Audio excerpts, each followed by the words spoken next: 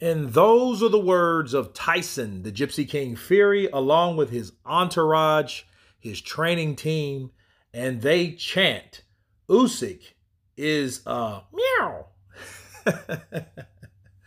right? Now, here's the hilarious thing. Tyson Fury is talking much smack, which is great because I would like to think optimistically all the trash talk we've heard in the last four to five days, it must mean that he's going to sign the damn contract to fight Usyk. He's training, he's talking, so let's see him do some walking. Bars. right? So, this is the latest slander of Alexander Usyk. Now, the irony is, Usyk is a pussy. He's a cat. Usyk the cat. Alexander Usyk the cat, right? So that's exactly what he is. So when Alexander Usyk hears this, he would probably say, Greedy belly. I am cat. I am pussy. Yes. right? But it's all fun and games. Um, Tyson Fury is a showman, and he's doing exactly that. I just hope he shows up and shows out. That's the thing you wish for. That's what you want to see. I want to see Tyson Fury at his best. I want to see Alexander Usyk at his best. Right?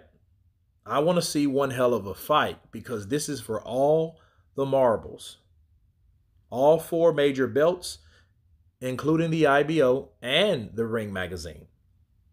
So let's get it. Tyson Fury chants, Usyk is a pussy. Now, don't want to be negative, but I can't help but to think about when Tyson Fury did the same thing to Anthony Joshua and he was in front of a audience saying Joshua is a pussy. You guys remember that? Well, you do know the outcome. There was no outcome. The fight didn't happen. Tyson Fury jumped the gun, got impatient, and decided to fight Derek Chisora. So let's hope this isn't the same thing because he still has not signed the contract. So it sounds good. He's training. That's great. But I will feel 100% better when he signs the contract. In fact, let's put some of that energy like he put into fighting Deontay Wilder the third time. You guys remember when he signed it live on social media, right? Let's see him do that. And I think that would give him a lot of respect. I think his fans would respect that a lot, you know, and it would show and it would get some of those stripes back that I think he lost from all the back and forth and all the diva stuff and, you know, the 70 30 and all that stuff like that. So we'll see. But anyway, you guys tell me what you think of Tyson, the Gypsy King Fury, calling Alexander Usyk uh, meow. of course, please subscribe and you guys been counterpunch.